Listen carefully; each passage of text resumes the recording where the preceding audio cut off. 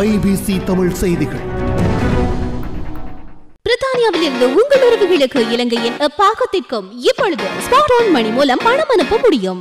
சிறை தண்டனை அனுபவித்து வரும் பொதுபல சேனா அமைப்பின் பொதுச் செயலாளர் கலகொட அத்தை ஞானசார தேரர் விடுதலை செய்யப்பட உள்ளதாக தகவல்கள் வெளியாகியுள்ளன. ஜனாதிபதி பொது மன்னிப்பில் ஞானசார தேரரை விடுதலை செய்வதற்கான சூழ்ச்சிகள் முன்னெடுக்கப்படுவதாக தாய்நாட்டிற்காக இராணுவம் என்ற அமைப்பு தெரிவித்துள்ளது.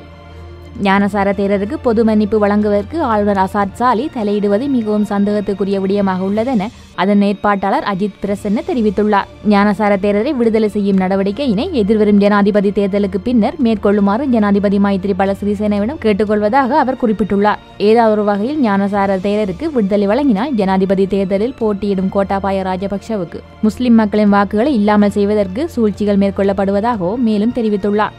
கொழும்பில் நேற்று இடம்பெற்ற ஊடகவியலாளர் சந்திப்பில் கலந்து கொண்டு உரையாற்றும் போதே அவர் இவ்வாறு குறிப்பிட்டுள்ளார். இந்த மாதிரி நிறைய வீடியோஸ்க்காக ஐபிசி தமிழை சப்ஸ்கிரைப் பண்ணுங்க.